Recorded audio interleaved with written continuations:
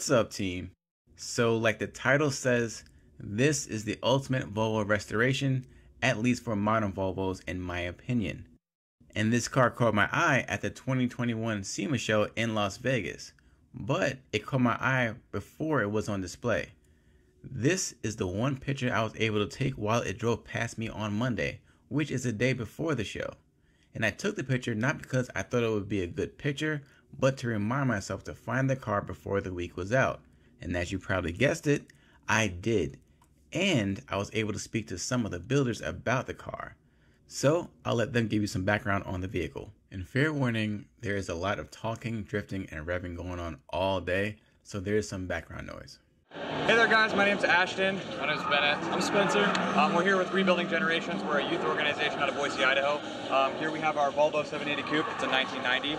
It's a concept car from Volvo. Um, uh, yeah, this is our build for SEMA this year. We put about two years effort into this car. Um, it's got an amazing story. It's a one-off car. Um, it was built for the 1990 New York Auto Show uh, to, for Volvo to compete in the American market. Um, so it's got custom wheels, custom body kit, only set in the world as far as we know. And uh, yeah, it's uh, it's been an amazing experience to get this car out here. Um, we spent a lot of time on it. It's uh, been an amazing experience. We're super happy to be here.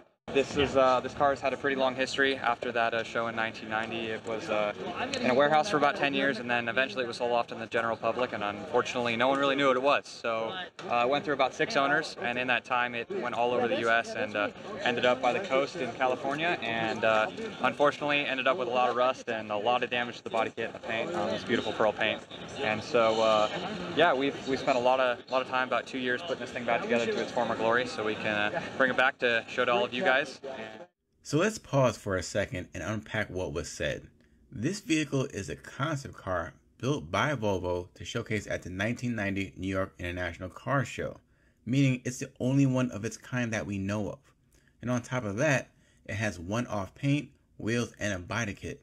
It took two years for their team to build this car, and you will see later in the video that they used that time very effectively. We've had the car for about two and a half years now, I think, is when uh, we found it at an impound lot and have just sort of started making it our project. We found the wheels actually, cool story, uh, year before uh, we even found the car. So we were able to kind of put the two together and complete the original model. So just pure luck.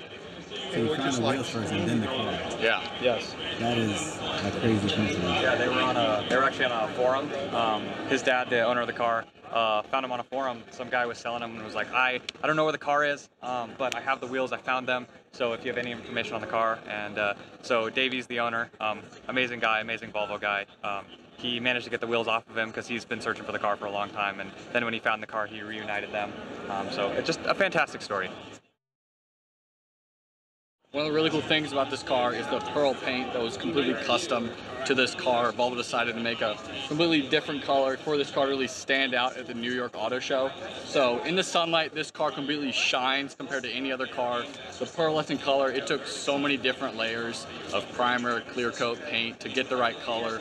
One really cool thing about matching this paint to the original was that behind the rear tail light was the original color because it never really was seen, the sun never really was shining on it.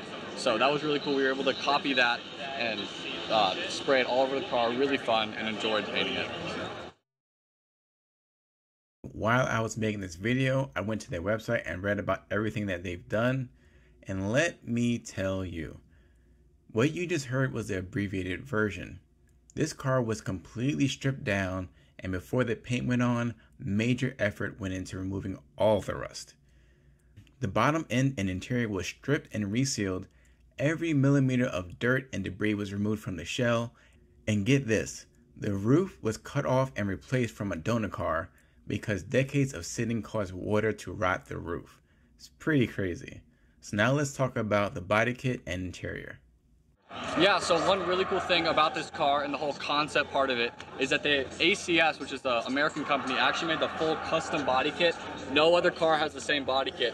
Well, because over the years this thing was driven by six different owners, some of the parts fell off, so including this trim piece right here actually fell off, but luckily the other side had the same trim piece. So we actually had a 3D artist designer um, completely redesigned this piece and he 3D printed this piece and the other piece so that they're a lot lighter. We had these two pieces 3D printed as well as the rear, rear spoiler because over time the Bondo and everything kind of became into a different like formed into a different shape which just isn't great for like trying to recreate the full restoration of the car. So we had this 3d printed. It looks brand new super awesome and it's really light so the car can perform a lot better Okay, so the original interior uh, was in pretty good shape, uh, all things considered. We found it um, at the salvage yard with a lot of tint on the windows, and so the interior wasn't in too bad of condition. Uh, one thing we did have to do was respray the interior with uh, multiple, I think, multiple levels of uh, paint and yeah so we used a lot of layers of different dye with the airbrush which i mean i didn't i tried it many different times different types of airbrushes i didn't get exact like the type of best way of doing it but in the end we got a really good product. Um, thanks to all the sponsors. Some of them gave us the correct dye and all that so it was in the end we got a really good finish so uh, thanks to all of them. So this is not the original engine from the car, but it has the same model and everything. It's from 93, I'm pretty sure the engine, the actual car's in 89, but it has everything stock on it pretty much, stock turbo, but it was completely rebuilt. It was in the engine shop for about two years, but um, built interior, or the engine, like the piston everything, all of that, um, those are built parts, but it's been all redone, some exterior parts repainted, so it really looks brand new, pretty much like factory, besides the valve cover, which we did a little custom Volvo in the same pearlescent color as the whole um, exterior of the car. So, the Volvo is the same pearl as the rest of the car. Yeah, yeah. So in the sunlight, you can see the little blue hue that it uh, shows. So yeah, it's really cool. So Rebuilding Generations is sort of a youth ministry program where uh, we take some really experienced older gentlemen and uh, they are able to mentor and teach us younger uh, generation, the next generation. And um, it's just a super fun time. We meet uh, every Tuesday night, sometimes more, depending on crunch time for different projects, and we just get stuff done. We work on all sorts of cars, and we like to take a car each year to SEMA. For now, we're based in Idaho. We have a couple of different chapters uh, around the Boise area. Um, so yeah, we're looking to do more projects in the future. Um, yeah, so once again, if you have any questions about the program, feel free to follow us at Rebuilding Generations. Um, we can answer any questions you have. Uh, you can DM us or anything, or you can check out our website, which is also at rebuildinggenerations.com. We just want to give a huge shout to our sponsors, uh, Optima and Falcon. They're the reason we get to be here at SEMA. We're super grateful for everything that they've given us. Um, and then a huge thank you as well to Hemmings for doing the spread in their magazine. Um, if you want to check that out, you can. Um, see the full story on the car, as well as uh, IPD for giving us such, some great parts and uh, supporting us through this build. And uh, yeah, so if you have any questions, want to learn about the build, you can follow us at 780 Concept Coupe on Instagram. And if you want to learn more about our youth organization and what we do, uh, follow us at Rebuilding Generations on all of our social media. Um, yeah, thank you very much. So I hope you enjoy the build and the video. I found their build and organization very inspiring. Remember to like, share, and subscribe to RyKing Uploads, where our goal is to never stop learning. Remember to stay tuned, and thanks for watching.